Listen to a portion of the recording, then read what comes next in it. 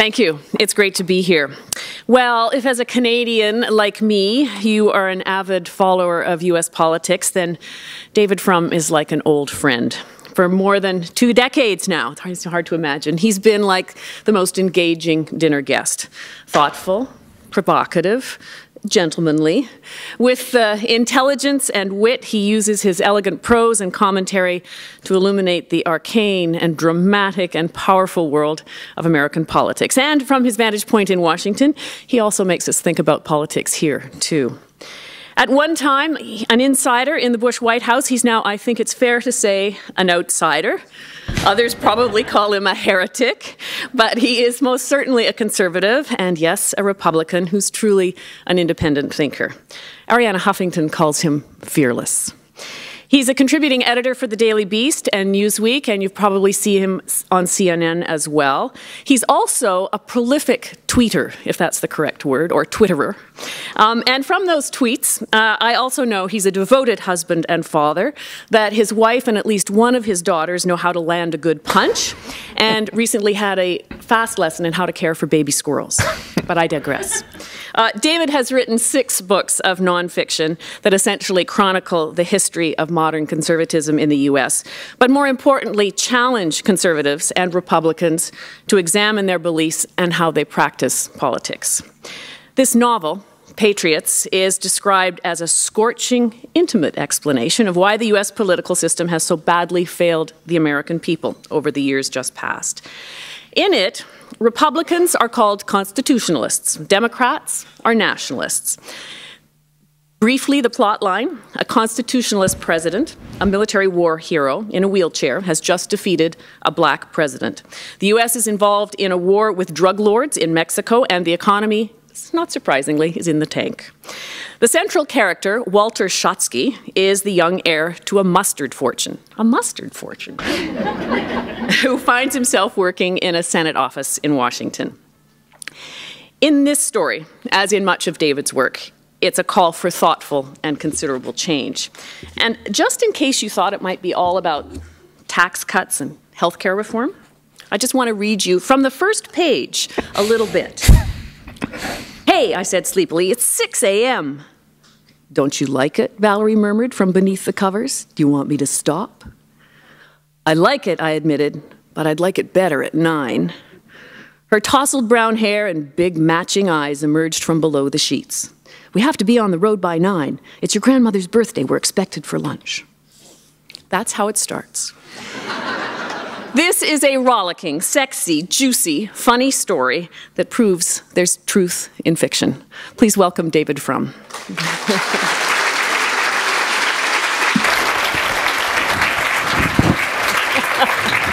thank you. Where do you want to sit? I, you go there, I'll go here. so, to begin, uh, I'll put you right to work. The yeah. first, most obvious question why a novel? Um, P.J. O'Rourke, uh, who's a great American humorist, had, had a line that struck me many years ago that um, just as many things are too strange for fiction, so other things are too true for journalism. and, and what happens when you live in Washington is you, you amass all kinds of stories and anecdotes uh, that you, for one reason or another, can't use. Um, either you're not 100% certain that they're true, uh, or uh, they occur to people who are very good friends. You are, you are certain that they're true, but they involve people who are good friends of yours, and it would be embarrassing to repeat them. Um, or uh, their full significance only strikes you long after everyone else has lost interest in the story. Uh, you collect these things over time. And then, in the crisis that has hit the United States over the past three years, um, where I found myself um, in one of those everybody's out of step but my Johnny situations where you know, everyone else is marching in one way and I'm marching in the other way and we all think the other is nuts, that I found, I found myself dealing with people who I thought had lost a sense of reality, who also thought then that I had lost a sense of reality. And I became very interested in this question of, you know, why do I think so differently from all of you? And that was something that if you sort of sit down and work it out for yourself, it turns into autobiography. It becomes self-regarding. Whereas if you can tell a story and make it amusing, it can be other-regarding. All right, so talk about developing this kind of plot line, I want to ask you a little bit about the process yes. because the books you've written before have been, uh, you know, based on your research and your thinking. Um, this obviously is too, but this is a plot line with twists and turns and vivid descriptions. Where did Walter Schottky come from? I've been living with Walter Schottky in my head for a long time. And the first line of the novel I've ha had probably in mind for um, almost a decade, um, but that was it. Uh, and uh, then during uh, the Tea Party storm, um, I, I, became interested. Uh, uh, I, I, had various sort of stories that I was watching. And so what happens with, with Walter, the first line of, of the novel is that I, I didn't get my girlfriend through uh, I, sorry, I didn't get the job through merit, my girlfriend had pointed out, but then I didn't get my girlfriend through merit either. And uh, Walter is, um, he's not a fool, but he is um, not one of the world's smartest people, unlike his girlfriend, who is one of the world's smartest people. And he is put into a situation where he is, he's thrust into the middle of Washington and becomes our observer. And he also, I was interested in him because he, he does inherit a lot of privilege. And he represents the incredible out of touchness of the American economic elite through the cataclysm that that society has lived through. And one of the things that happens to Walter is he becomes more aware um, of how he's got problems in his life and how flimsy they are and how and how he has to be more other regarding himself. You've often said that yourself eh, about about politics and the, and the meaning of politics. Yes. That you, we need to be aware of what we have. Well, there's the, the, one of the, in the first paragraph of The Great Gatsby, um, the narrator uh, quotes something his father says to him, uh, which is, um, whenever you're tempted to criticize anybody, uh, be aware that not everybody in life has had the advantages that you have had. And my mother quoted that line to me probably 5,000 times before I understood where it came from. Uh, and, and and as I watch what has happened in Washington over the past five, I think they should put it in the Pledge of Allegiance. Uh, they don't. No, they, they, they don't. Um, they don't. And what, what, one of the things that is very strange about um, American politics right now is, you know, that, I mean, if you live in Washington, if you live in certain areas of New York, uh, the country has never felt richer. Uh, that the, um, that the damage from the recession is entirely repaired. In this way, it's not like the Great Depression. Um, it's been very, very, the recovery for those uh, who have done well has been very rapid and dramatic and better than ever. But for 80% of the country, the situation is, is somewhere between bad, grim, horrible. And yet, in this situation, if you watch the debate, certainly on the Republican side, that, that the mood of, of uh, persecution um, is uh, so, so extreme. It's the Senator Hazen, who's sort of the conscience of the book. He's this, the last of the moderate New England constitutionalists in the book, um, and who is, you know, who is from the business world and who does sympathize broadly with the interests of the business world. Does say that his rich, uh, one point, you know, he's talking, he's complaining about fundraising, and Walter says to him, at least fundraising keeps you in touch with the people. And he says, I'm in very close touch with the people who own private aircraft. which is a line actually once said to me by a, a former U.S. senator talking about his fundraising. Um, and and then Walter complains, "Well, you sound like a radical." He says, "I'm no radical. I, I'm I'm not. And I'm you know I'm a um, someone who believes in, in business. I just wish that the rich didn't spend all their time feeling so sorry for themselves." so, how much of the book is based on experience but imagined, and how much of it is real experience here? Well. Uh, the book is not in any way autobiographical. Um, I, am, I am not Walter Schottky, at least I hope not. Um, and there's no mustard in your family. no mustard, yeah. um, but uh, but this, a lot of the stories are, are true, and a lot of the, um, they're recombined, and a lot of the characters are based on real life personalities. Uh, and that is more true of the minor characters than of the major characters. And some of, a lot of the dialogue, I mean, one of the things I warn people about in the book is you will come across passages that seem impossible that any human being, how could I write such a thing? How could anybody say anything so stagey, so corny, so histrionic, so strident? So, well, that's taken from a Fox News transcript. so do you, do you want to read it? Did you bring the, I know there was, you've got a couple of examples in the book here that uh, well, were particularly good. Um, I, I, I, had a few little things here. I need my reading glasses, unfortunately. Um, uh, uh, Walter and there, there's some comic, some comic, a couple of things, and a comic thing, and then maybe a serious thing. Um, here's a uh, comic thing that Walter and Valerie go to the inaugural ball of the incoming president, General Pulaski. Um, this is the hero you mentioned. And you've probably, if you've read about them, you imagine an inaugural ball and you imagine something tremendously glamorous. The women in beautiful dresses, uh, something Viennese. Uh, and anyway, so this is uh, more what it's what it's like. Um, that as, as they walk in, uh, Walter said, Walt, speaking Walter's voice, I surveyed the crowd. And then he says to Valerie, Do you think we might have come to the wrong place? At that moment, we were passed by a man wearing a, wearing a mullet haircut and a bright red tie studded with little lights that switched on and off at two second intervals. Looks that way, said Valerie. Somehow I imagined an inaugural ball would be less gross. Maybe it would be better in the VIP room? I glanced down at the secondary ticket atop my general admission pass. Maybe, said Valerie, not very hopefully. And then they go into the VIP room, which turns out to be an exhibition. Uh, the VIP room turns out to be an exhibition space that opened off the museum's main, main hall. The placard was illustrated, uh, and uh, as they, they're standing in line, uh, they are crashed into by a man on his way on the, on the, on the, um, on his way to the canapes. And uh, they, Walter sort of looks around despair and says, God, this is grisly. I said to Valerie, Do you think it was like this when the Romans inaugurated a new emperor?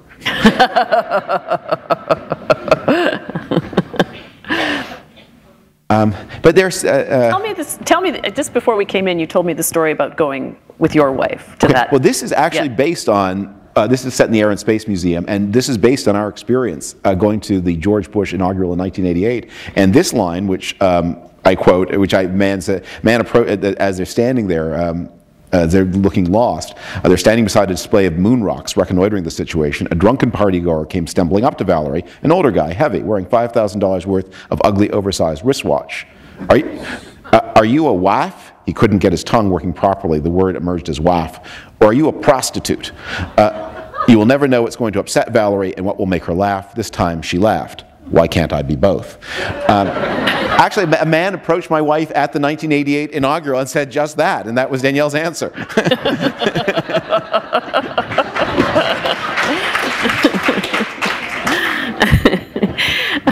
Um, one, one of the young men who worked with you on your blog, uh, Noah Christopher yeah. wrote about you as he was leaving. And he said this He said that you are a deeply cynical man.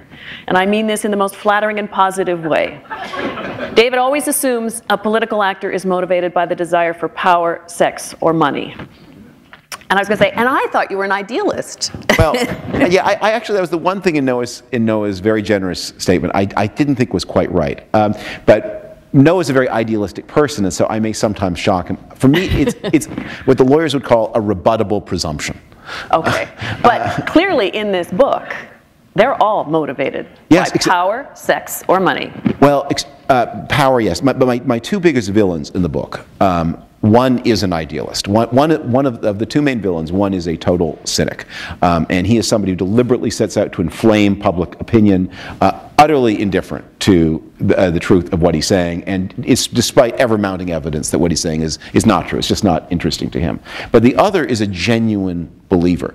And uh, the genuine believer ends up doing even worse things than the truly cynical person. And, and the question you're asked to confront is, you know, maybe genuine believers are uh, worse. Are worse. And, and these are both based on, these are two, con, con, they, con, they are containers of two types. But both of them, I think, would be, if you were in Washington, would be fairly recognizable uh, personalities. That certitude, that sort of genuine believer, there's no way but my way, it exemplifies the Tea Party in many ways. Right. But it, the Tea Party, look, one of the things that, that made me do this book is um, you have to have tremendous sympathy for the people who go to the rallies and do the work and constitute the rank and file of the Tea Party. I mean, they're living through a social calamity. They, the human beings need explanations. They want, uh, they want to know why did this happen? Assure me that it wasn't my fault. Uh, and that they are frightened that if you are somebody in the United States on the verge of retirement, you're confronting a situation where you're even if you have handled your stock market portfolio well, that is, if you didn't panic and sell at one of the market drops, which a lot of people do, it's worth no more today than it was in the year 2000. Your house is worth less. Um, the, clearly, that, that if you are in your, you know, on the verge of retirement, you're in your early 60s, the deal the state provides you in your retirement years will not be as good when you're in your 80s as it is for the people who are currently in the 80s. And your children face a bleak future. Uh, and so you are ready to be led or you're ready to be misled. And one of the themes of the book is how does it happen? Uh, how does it happen that, that, these people who have real anxieties and real fears, and I hope I'm sympathetic to them, um, get abused in, in the way that they do? And one of the forces in the book, and, and that's, the, that's what the, the, motive of the book is, the, the question, the plot of the book is that um, how a small number of people set in motion these fears. I was going to say, do you think it's it's fear that sustains the extreme of the conservative yes. movement in the United States? Yes, I think it's tremendous fear. Um, both fear for themselves and fear for uh, what's going to happen to people like them. Um, that will will their country have room for them? And the, uh, you know, if you are um, 60, you grew up in uh, United States. It was a very middle class country um, that was defined by the middle class. It was defined by manufacturing, uh, and where there were some where where you know the rich people were. Um, you know, the richest man in the country in the year 1962 was, was J. Paul Getty, a man whose it's estimated that in present money his fortune would be a billion dollars, which is a lot of money, but you know it's one billion dollars. And J. Paul Getty was not very active in politics. Um, he didn't give to politicians. He didn't own political parties. He didn't pick presidents. Um, and the and when elections happened, that yeah, people who had money mattered, but so did the unions, and so did the Knights of Columbus, and so did the Catholic Church. The Catholic Church mattered a lot. And the idea of politics as a competitive struggle of um, enormously powerful private people with very particular interests who might choose, who, who may choose to be public spirited, but may choose not to be. But if they don't choose to be, there's nothing really much to make them. That's a new country, and the country's changing ethnically as well. And that's an unsettling so what, what changed it to make it this cutthroat blood sport, do you think? Because it's only worsened. It's deepened even since I was there in 2005, 2009. Yeah. It's it's much more rancorous. I mean, it doesn't get it much worse than it yes, gets I, in here. I would say it's changed. Uh, um, many things. Let me let me point to, to three as especially notable. Um, the first is I mentioned what. Uh, the effect of economic pressure. Right. That one of the things that a democracy likes to be able to do is to say to everybody, okay, you keep what you have and I'll keep what I have. And what we'll argue about is there's going to be an increment of economic growth. Uh, and we, what we're going to argue about is who gets how much of the new money. Well, people are much more relaxed about the allocation of new money than they are about the reallocation of old money. But when you're in a situation as you are now, where um, the United States is going to disappoint people. Uh, that the tax rate uh, is not if the health care benefits for retirees are to stay as they are, then the tax rates can't stay as they are. If the tax rates are to stay as they are, then the health care benefits for retirees can't stay as they are. And so everybody is going to have the experience of losing, of having something taken away from them. So that's the first thing. Uh, the, the second thing is um, because of the huge immigration into the United States, 40 million people since 1970, uh, economic redistribution inevitably becomes ethnic redistribution, and that is always more bitter. And that's one of the sub-themes of mm -hmm. the mm-hmm. book. And the last thing is the change in the media where you have, a, and that's one of the major themes of the book, and that's maybe something to read in a moment if we like, uh, that you have a new, more partisan media that exist uh, to generate audience exactly by inflaming these kinds of fears. And that's, and we see there's a sinister cable news network called Patriot News that we see through this novel doing just that. Um, and very, uh, and, and the people in it I do it both consciously, but it's also quite tragic because they, they put things on the air that they know to be false, and then they watch them and they believe them. Yes. Well, we've all watched that happen. Do you want to read the little section you were talking about? Yes. Um, uh, let me give you an, ex an example. Um, of this. So uh, Walter, in his feckless way, um, has inadvertently stumbled into having into cheating on his girlfriend with uh, a woman who it turns out is the mistress of the um, uh, largest uh, of the largest and most powerful of these cable news networks, and and that leads Walter into a lot of trouble. Um, and uh, uh, but what he gets, she gives him kind of, a, she's a very bitter person, and she doesn't really like Walter that much. Um, she's just sort of bored and unhappy and miserable, and she's about to be dumped anyway. Um, uh, but she, she and they have this, this conversation about how does Patriot News work. So, um, uh, uh and she really hates it. And Walter watches it sometimes. So Walter says to her, I, I watch Patriot News, I said. It's kind of sensational, and maybe it's not the most accurate news in the world, but I don't see what's so indecent about it. Why, why do you think people watch Patriot News? Because the info babes are so hot? Yes, that helps. Uh, maybe on the way home, we can make a betting pool on which one O'Grady, that's the uh, head of the network, will choose to replace me. Uh, but our primetime li lineup is full of ugly old men, and they do even better. I'd take you over any of the info babes any day, I said, not very truthfully, but go ahead, tell me. Why? And she says, You must have seen that ad we run for carbon monoxide detectives, de uh, detectors. She imitated an announcer's gravelly voice. There's an invisible killer lurking inside your home. She giggled at her audacity. For a second, her humor, her humor seemed good natured. Then the bitterness returned. That's what we tell them every moment of the day, in every story and every commercial. They are surrounded by danger. The enemy is everywhere cunning, ruthless, merciless. The authorities, at best, pitiful and incompetent, but more often corrupt and duplicitous. Now we are testing a new plot line. This, uh, and then the, we, she summarizes, this goes into the events of the story, but the point of the plot line is the viewers can trust nobody and nothing, except Patriot News, of course. And Walter tries a, a little uh, joke, and they, they um, and uh, she, um, Sylvia becomes impatient with him, and uh, she says, our, um, she says, our audience is so old, they remember when there was this thing called the news. She dropped into an imitation of a grave announcer's voice. And that's the way it is. She took a long sip of the Armagnac. But Michael O'Grady doesn't believe in that's the way it is. He doesn't believe it's his job to report reality. He believes it's his job to make reality. You're saying that most CEOs think they are God, but Michael O'Grady actually is God? Walter, you are really quite a good looking boy. You don't have to try to be funny too. It doesn't work for you. um, you also don't suggest in that book that the Democrats are any more uh, virtuous no. than the no, Republicans. I, I, well, what, the, the Demo, the, this is set inside the Republican world, but one of the Democratic characters we meet is a super lobbyist um, whose uh, name is uh, David Maurice, born David Moritz, and he's one of the most uh, corrupt people in the whole book. Um, but he always is reminding everybody that he got his start um, as an anti-apartheid campaigner, and now he lives, um, he makes his, he has a huge mansion on River Road, which is a fancy street in Washington, and he has his summer retreat on the eastern shore of Maryland, where he lives at, uh, uh, um, at a country house what she calls Mandela Farm.